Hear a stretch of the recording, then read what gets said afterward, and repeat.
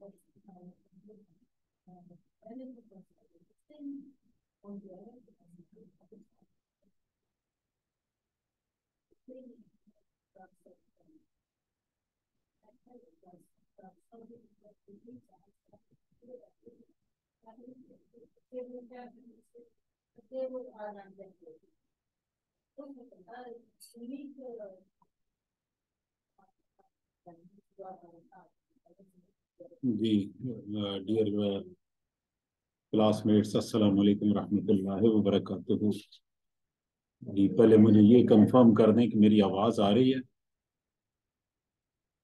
जी आ रही बिल्कुल आ रही चलें जी गुड ज़बरदस्त।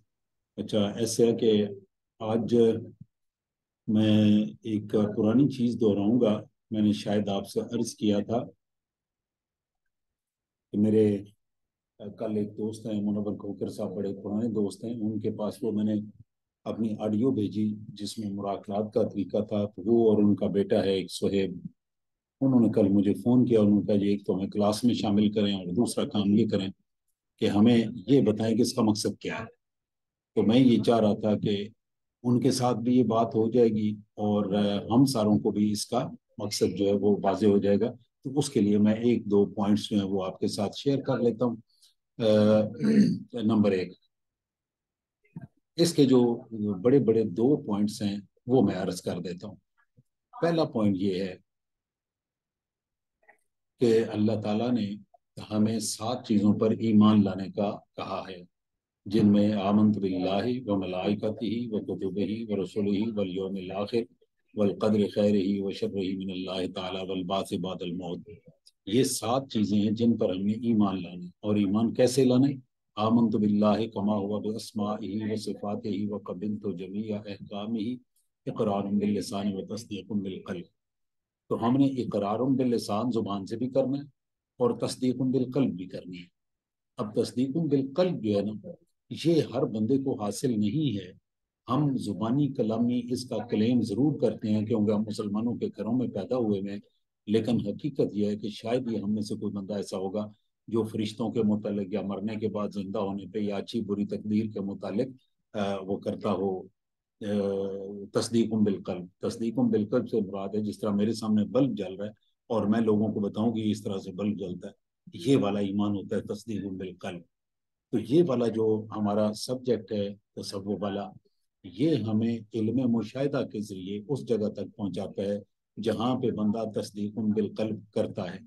और ये तस्दीक बिलकल्ब के लिए ये कोई आपकी और मेरी रिक्वायरमेंट नहीं है। इस रिक्वायरमेंट में अगर आप आगे जाएँ तो आप फील करेंगे कि अम्बिया वसलाम ये सवाल करते रहे। मिसाल के तौर पे हज़रत उज़ैर ने अल्लाह ताला से गुजारिश की, या अल्लाह, ये आप एक बस्ती के पास से गुजरे, जिस बस्ती में जो बस्ती तबाह हुई हुई थी और उसमें जो लोग थे, वो मर चुके थे। तो उन्होंने अल्लाह ताला से अर्ज़ किया, या अल्लाह, इनको तो कैसा ज़िंदा करेगा? तो अल्लाह ताला ने हज़रत उजैर सलाम अपने गधे पे टिफन कैरियर लिए कहीं जा रहे थे, अल्लाह ताला ने उन पर मौत तारी कर दी। जब सौ साल के बाद उन्हें उठाया तो अल्लाह ताला ने पूछा कि, उजैर, कितनी देर यहाँ पे ठहरे? उन्होंने कहा, ऐसे ही लगता है जो तीन चार घंटे ठहरा हूँ सोया हूँ मैं। उन्होंने फरमाया अपना टिफ़िन देख खाना देखो खाना देखा तो बिल्कुल तरोताज़ा था तो वो बात जेन में और भी पुख्ता हो गई अब अल्लाह ताला ने फरमाया अपना गधा देखो गधा देखा तो इंजर पिंजर उसके ख़त्म हुए। तो अल्लाह ताला ने फरमाया तुम्हें सौ साल हो गए यहाँ पे अब ऐसे करो इस गधे को आवाज़ दो। उन्होंने गधे को आवाज़ दी वो गधा उसी वक्त हाँचू हाँचू करके ज़िंदा होकर खड़ा हो गया। तो उन्होंने बताया कि ये है मैं इस तरह से आ, मरने वालों को ज़िंदा करता हूँ ये है तस्दीक बिलकल्ब अब ये तस्दीक कल्ब का बिल्कुल यही वाला ये सूर्य अल बकरा की दो सौ उनसठ नंबर आए थे, दो सौ साठ में हज़रत इब्राहिम वसलाम का उन्होंने अल्लाह ताला से पूछा, या अल्लाह तुम लोगों को कैसे ज़िंदा करें तो अल्लाह ताला ने फरमाया कि तेरे तुझे इस पे ईमान नहीं है उनका ईमान है, वाले तत्मिन कल्बी। मैं अपने इतमान कल्ब, यानी तस्दीकों बिलकल्ब के लिए बात कर रहा हूँ कि मुझे तो अल्लाह ताला ने उन्हें कहा कि चार परिंदे लो, ज़िबा करो, उनका कीमा करके आपस में मिक्स कर दो। चार पहाड़ों पे रख के और वापस आके आवाज़ दो वो तुम्हारे पास आ जाएँगे। तो उन्होंने भी ये मुर्दे से ज़िंदा होने का अमली मुशाह किया। तो ये मुशाहदात आज भी लोग जिस वक्त करते हैं तो अल्लाह ताला इनमें से कोई एक आधा मुशाह ज़िंदगी में करवा देता है। तो उसके ऊपर फिर सारी की सारी ईमान की जो इमारत है, वो उस पर तामीर हो जाती है। अभी यहाँ से हम चलते हैं। तो जैसे मैंने वो आपको शुजूनात वगैरह का वो सारा समझाया, उस जगह तक जाते जाते बंदा कायनात की एक एक चीज़ का इस तरह से मुशाह कर लेता है कि उससे अल्लाह ताला के वजूद, फरिश्तों के वजूद, किताबों की वही और इन चीज़ों में किसी किस्म की कोई राय बराबर भी गुंजाइश, शक ही नहीं रह जाती। अब आ जाए, इसका एक दूसरा एंगल है कि इसके हसूल के लिए हमें अल्लाह ताला ने दो चीज़ों का बताया, एक अमर, एक नहीं। अमर जो है, वो क्या है? जिन कामों का हुक्म दिया गया है, नेक काम है, ये करें। और नहीं, वो काम जिनसे रोका गया है।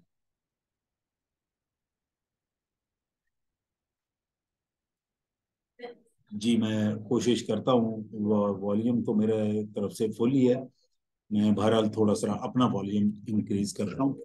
तो उसमें यह है कि अब दो चीज़ें एक अम्र एक नहीं। नहीं वो चीज़ जिन कामों से मना किया गया। उसके लिए कुरान पाक ने तकवा का लफ्ज इस्तेमाल किया। तकवा का जो सबसे खूबसूरत तर्जमा है वो है परहेज। परहेज हम किसको कहते हैं? बचने को। मिसाल के तौर पे आ, किसी बंदे को शुगर हो जाए तो डॉक्टर उससे कहता है कि चीनी से परहेज करो। किसी आदमी को टाइफाइड हो जाए तो उसको कहते हैं सख्त गजा से परहेज करो। अगर गला खराब हो जाए तो कहते हैं ठंडे और खट्टे चीज़ों से परहेज करो। तो परहेज होता है बचना। जितनी ज़रूरत है उतना इस्तेमाल करें उससे ज़्यादा इस्तेमाल से रुक जाए। तो तकवा पाँच चीज़ों से रुकने का नाम है। वो शाहवत, गुस्सा लालच, हसद और तकबर इन पाँच चीज़ों से आपने रुकना है। इनके साथ आगे जो कनेक्टेड और लिंक बीमारियाँ और गुनाह, उनसे आप खुद बहुत बच जाएँगे।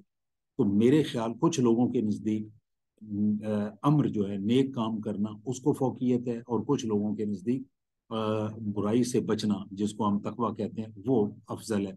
तो मेरे ख्याल के मुताबिक जो बुराइयों से बचना है, उसको फोकियत है। अगर आप बुराइयों से बचना शुरू कर देंगे तो आपकी मुआशरा भी ठीक हो जाएगा और हर चीज़ ठीक होना शुरू हो जाएगी। ये चार, ये तकवा के पाँच पॉइंट जिस वक्त आप चलाते हैं तो आपका, वो जो दूसरा सफ़र है जो कि आपको अल्लाह ताला की ज़ात तक पहुंचाता है और उसका मुशाहिदा देता है, वो आसान हो जाता है।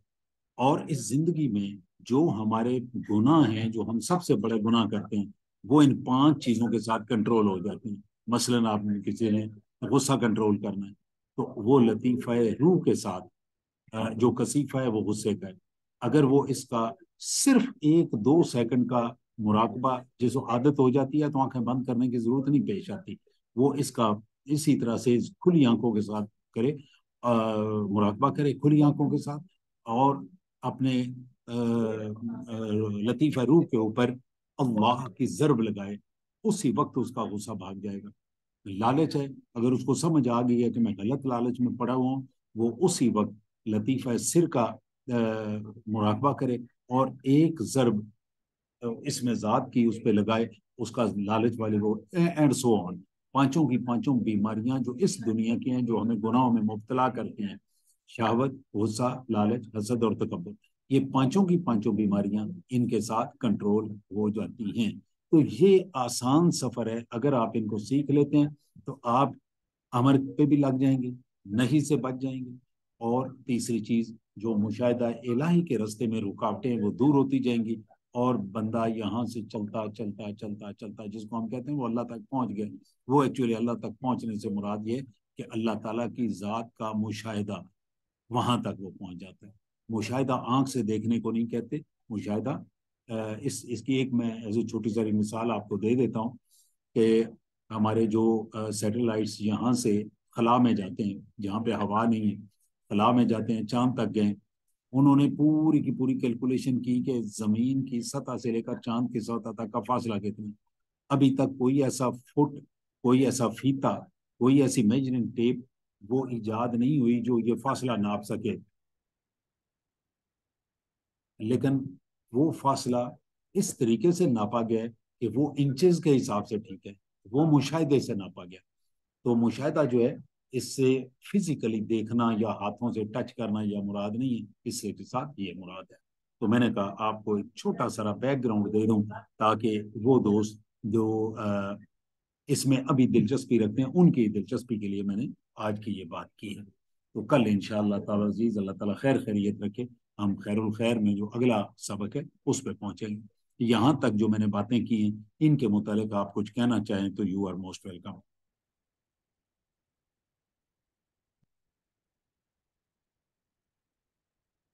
अस्सलाम हजूर। जी वालेकुम अस्सलाम। हजूर वॉल्यूम कम होने की वजह से ना वो आपने पाँच चीज़ें जो गिनवाई है ना वो काइंडली जरा रिपीट कर दीजिएगा। रिपीट कर देता हूँ बिल्कुल रिपीट कर देता हूँ। नंबर एक शाहवत नंबर दो गुस्सा नंबर तीन लालच नंबर चार हसद नंबर पाँच तकबर ये पाँच चीज़ें हैं।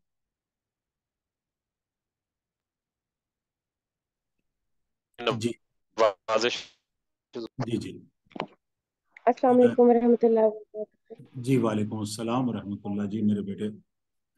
अंकल थोड़ा सा ही बताएँ मुझे कसाइफ का और यह जो आपने बताया वो तो माशाल्लाह बिल्कुल ठीक है। मुझे बताएँ बीमारी नाउमीदी जो कुफरान नेमत डिप्रेशन ये इन सब में किस किस किस के अंडर आते हैं? मतलब ये भी तो आपकी ज़िंदगी में वो एक एक मतलब वो नेगेटिविटी ही है ना मतलब एक कस, कसी, कसीफा ही है। मतलब आपको कभी कोई ये इनमें गुस्सा के अंडर या लालच किस किस कैटेगरी में बीमारी या जब आप एकदम से डिप्रेस्ड हो जाते हैं जब चीज़ों को आप बिल्कुल बिल्कुल मायूसी बिल्कुल एग्जैक्टली जी जी बिल्कुल ऐसे ही है और इसका जो हमारे जमीनी हालात हैं जिनको हम कहते हैं ग्राउंड रियलिटीज इस दुनिया के दुख हैं, गुर्बत है, वगैरह वगैरह, जितनी भी परेशानियाँ, बीमारियाँ वो बहरहाल इंसान पे असरअंदाज होती हैं। अम्बिया पे भी असरअंदाज होती रही हैं। हज़रत अयूब अलैहिस्सलाम को जब वो फालिज की तकलीफ़ हुई तो उन्होंने बारह साल उसमें गुजारे और फिर बारह साल के बाद अल्लाह ताला से गुजारिश की कि अल्लाह, इस बीमारी ने मुझे यहाँ तक पहुँचा दिया कि मुझे ये खत, कुरान पाक में कि मुझे इससे खदशा पैदा हो गया कि शैतान मुझे कहीं इससे भड़का ना दे। तो अल्लाह ताला ने उस वक़्त बारह साल के बाद ये फरमाया कि यूब इस तरह करो कि पाँव ज़मीन पे मारो, इसमें से चश्मा निकलेगा, उसके साथ कुछ पी लो और कुछ के साथ गुसल कर लो तो ठीक हो, वो सारे ठीक। मकसद ये कहने का था कि ये बीमारियाँ अम्बियालाम पे भी असरअंदाज होती हैं कि उन्हें अल्लाह ताला से ये रिक्वेस्ट करनी पड़ी तो हमारे ऊपर भी होती हैं। इनके असरात अपनी जगह पे लेकिन उसके साथ आसानी है कि अगर आप इन पाँच चीज़ों को जब चलाएँगे आप इन पाँच चीज़ों को जो ये लताइफ हैं इनको चलाएँगे और उनके साथ ही इसके पाँच कसाइफ जैसे जैसे दबते जाएँगे आप देखेंगे कि परेशानी तो नहीं रुकेगी परेशानी तो आनी आनी है। लेकिन आपका ईमान इतना मज़बूत हो जाएगा कि वो बीमारी और वो तकलीफ़ और वो परेशानी आपको खराब करने की बजाय आपको मायूसी में ले जाने की बजाय आपको फिर दोबारा खड़ा कर देगी और आपको हिम्मत बताएगी आप देखिएगा, अभी मैंने सिर्फ़ एक लतीफे का सबक दिया है। जिस वक्त आपका ये लतीफा काम करना शुरू करेगा, आप यकीनन ये देखेंगे कि यही चीज़ आपको किस तरीके अपने पाँव पे खड़ी करती है। और बाकी जिस वक्त साथ इसके मिलेंगे तो फिर तो आप मौजों की मौजें हैं। जी। जजाकल्ला अंकल सुबहान अल्लाह बहुत शुक्रिया। बहुत बहुत मुनासिब और बहुत ऑन पॉइंट एक्सप्लेनेशन थी। मेरे दिल में बड़े अरसे से ये सवाल था कि मैं पूछूँगी कि ये आपको कैसे हेल्प आउट करेगा? लेकिन आपकी वो, और इससे मुझे इन्ना माशकू बसी व अल्लाह का वो वो वो आयत भी जहन में आ रही है कि अम्बिया सलाम ने कहा कि मैं अपने गम और हुजूर की शिकायत सिर्फ़ अल्लाह से करता हूँ।